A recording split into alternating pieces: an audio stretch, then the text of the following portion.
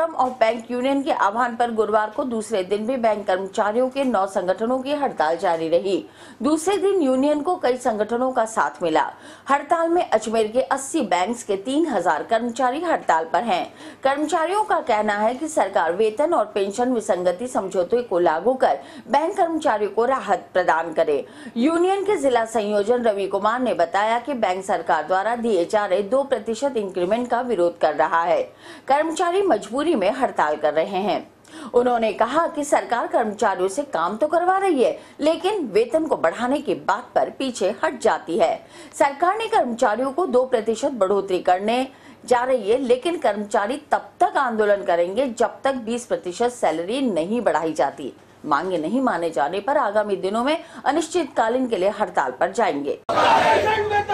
धोखा है। धोखा हम नहीं सहेंगे ये हम धोखा नहीं सहेंगे सम्मानजन सम्मानजनक वेतन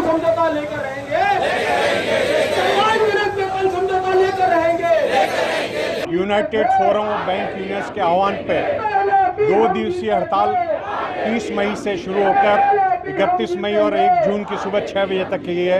आज हम हड़ताल के दूसरे दिवस में प्रवेश किया है।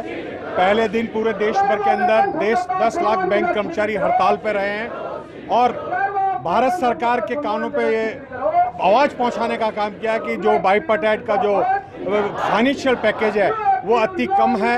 उसे और बढ़ाया जाना चाहिए। लेकिन भारत सरकार के कानून में जू नहीं रहेंगी है।